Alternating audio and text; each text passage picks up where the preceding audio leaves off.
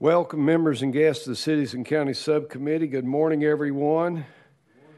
I'd like to welcome everyone. And uh, today, my name is Jerome Moon. We'll be uh, joined each week by some people who make this committee work, and I'd like to recognize them. Many of you already know my legislative assistant, Lucas Hutchison, who's in, been put aside. Elizabeth Ashwood will be our research analyst this year. Doug Garrett will join us from legal. And at this time, I'd ask the members if they would please introduce themselves, beginning with uh, Member Chism. Turn. On, on your mic, please, sir. Thank you. Hey, everybody. I'm Representative Jesse Chism from Memphis, Tennessee, District 85. I had to state. I have the state line, so uh, our last line of defense for our state. Thank you. I'm uh, John Crawford. I represent the first district, and I've got the other end of the state I protect on the state line in the Bristol area.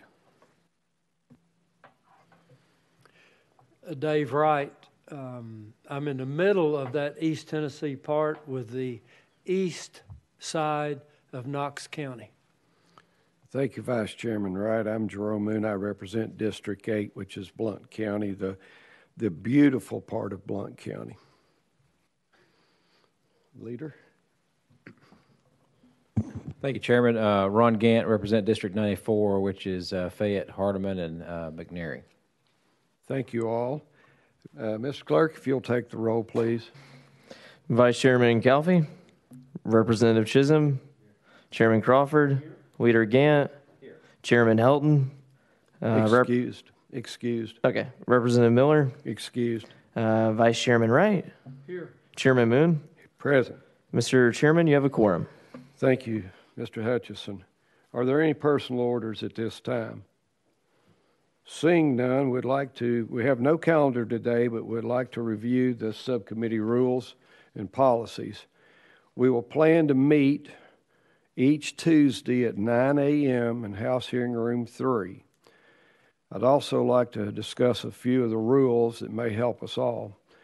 Bill notices for this subcommittee will be turned in by 3:30 p.m. each Wednesday in order for that bill to be heard in the upcoming week. Be sure to submit your bill notices through the portal. Amendments for Tuesday committees will be filed by 10 a.m. on Monday. Remember, the amendment, amendments must be submitted electronically to the House Local Government Committee. Amendments must be signed and they must be submitted electronically to a corresponding email list. Bills passed by the subcommittee will be automatically placed on the next full committee calendar unless the committee receives a written request from the sponsor to set another hearing date. When there are numerous uh, persons on a list to speak on an issue, the chair may impose a limit for the testimony and comments. Guest speakers need to be pre approved by the chairman no later than 24 hours in advance of the meeting. Caption bills must be approved by the Speaker's office before being heard in committee. Also, if, if the bill opens up a substantial part of Tennessee Code, the sponsor must agree to send the bill back to committee if the bill passes out of the committee as amended on the floor of the House. Be respectful of others. Please turn off your cell phones, put them on silence while in committee. Also, please limit texting and internet browsing while the committee is hearing testimony. No live streaming or recording will be allowed by members or by guests without 24 hours notice prior to the meeting. That notice would be given to the chair. Documents, handouts, and PowerPoint presentation materials will require at least 24 hours notice to the chair.